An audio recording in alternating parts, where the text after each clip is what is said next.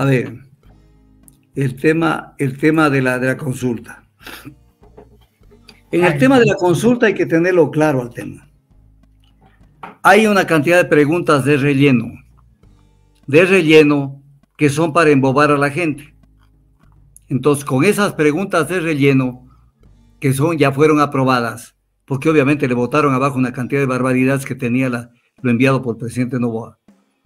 Entonces, ya le votaron todo eso porque eso no tenía ningún sentido que, que, lo, que lo mantengan. Entonces, esas preguntas, las que son de relleno, esas preguntas tienen que ver con cosas que no trascienden, que no trascienden porque al final eso no tiene ninguna, ninguna incidencia. Porque de las, primeras, de las primeras preguntas quedan esta, por ejemplo. ¿Está usted, primero voy por esto, está de acuerdo con que las Fuerzas Armadas realicen control de armas, municiones, explosivos en las rutas, caminos, vías y corredores autorizados para el ingreso en los centros de rehabilitación, autorizados para el ingreso a los centros de rehabilitación social? Eso cambia el rol de las Fuerzas Armadas. Pero vamos a poner un ejemplo, que la gente diga, sí, no tiene ninguna trascendencia porque como no hay un texto de enmienda constitucional ni un texto de reforma legal, en el caso de que quepa ese tipo de cambio, es un saludo a la bandera. Porque si están cambiando el rol de las Fuerzas Armadas, como lo están haciendo con la pregunta, tenía que haber venido un texto de, enmienda constitucional para, para, para ver si era factible hacerlo. Está de acuerdo que se incremente las penas de los delitos tal, tal, tal, tal, reformando el Código Orgánico Integral Penal. Pero como no, no anexaron cómo querían que se reforme el Código Orgánico Integral Penal, sino que luego de aprobada la consulta, el presidente en cinco días manda el proyecto de reforma al Código Orgánico Integral Penal para que la Asamblea debata, ni siquiera es para que a directo apruebe, sino debata y apruebe. Con, lo cual la Asamblea incluso puede decir, no me gusta Matantiru Tirulá y no apruebo. Segunda pregunta que queda en el aire, que no, no tiene sentido hacerla pero a la gente le va a gustar, ¿no? Como pregunta, que se incrementen las penas. Yo estoy de acuerdo y van y votan, pero si esto no va a tener ninguna trascendencia jurídica. Está de acuerdo que las personas privadas de la libertad cumplan la totalidad de su pena dentro del centro de rehabilitación social en los delitos detallados en la, pregunta 5. Digamos que la gente dice sí, pero como no hay reforma legal planteada, tienen que luego de esto volver a la, Asamblea Nacional a decirle, ¿sabe qué? esto que aprobó la gente, ahora sí, deme analizando y reforme el código. Pero la Asamblea tampoco es que está obligada al texto exacto decir que esto va a ser aprobado. Otra pregunta que se en el aire, eh, queda en el aire. ¿Está de acuerdo que se tipifique el delito de tenencia o porta de armas, municiones o componentes que son de uso privativo de las Fuerzas Armadas o la Policía Nacional? Y que con esto se reforme el Código Orgánico Integral Penal. Como no vino la reforma, la gente puede ser que diga sí, pues y no tiene ninguna trascendencia porque no hay el texto de la reforma al Código Orgánico Integral Penal y esto tendrá que ir después nuevamente a la Asamblea Nacional para que se reforme el Código Orgánico Integral Penal.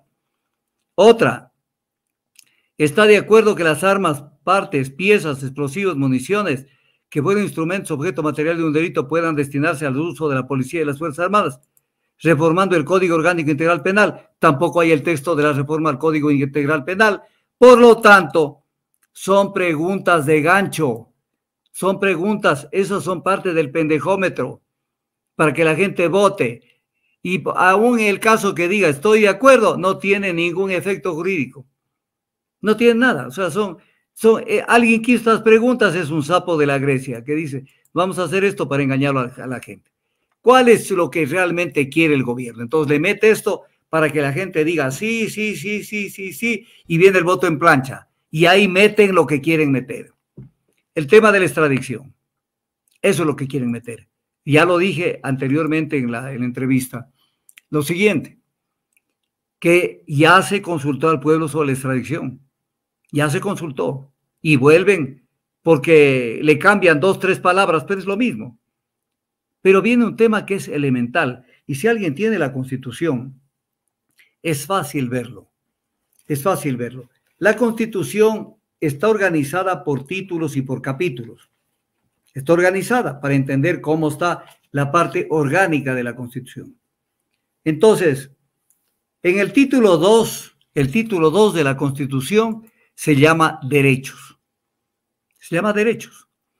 Y dentro de los derechos en el capítulo 9, en el capítulo 8, están los derechos de protección.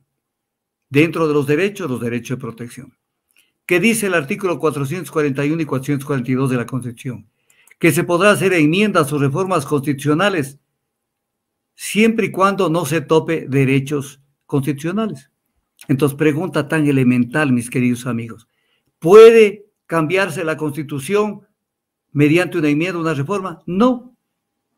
No se puede cambiar, porque esto, si quieren cambiar, tienen que ir a una asamblea constituyente.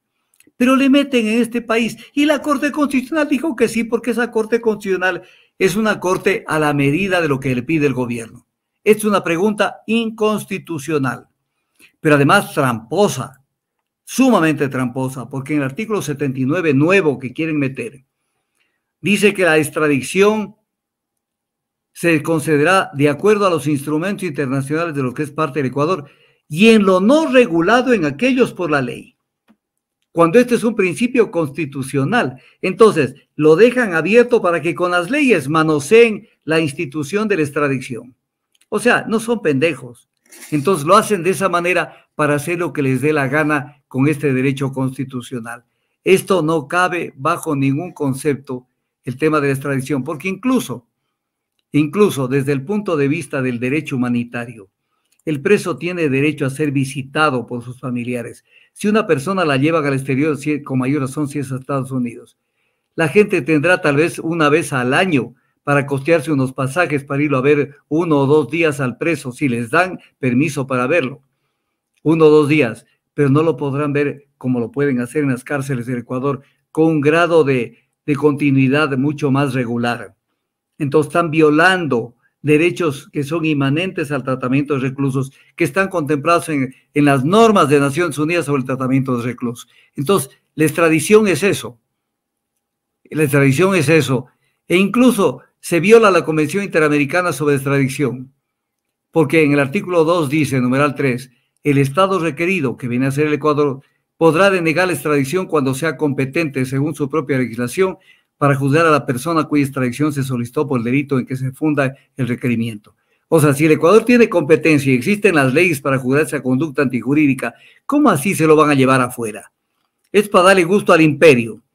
Y entonces, de esa manera, arman, arman este tema sobre algo que ya se consultó. Primer tema.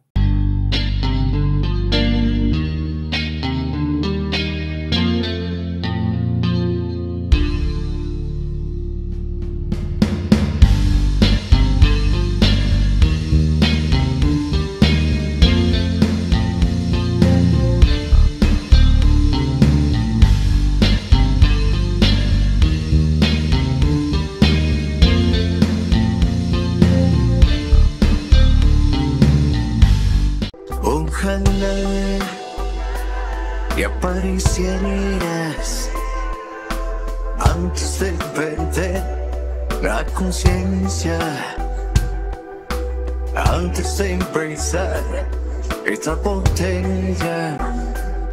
Ojalá se pudiera en un suspiro borrar mi memoria. Con una copa cambiar nuestra historia. Ojalá.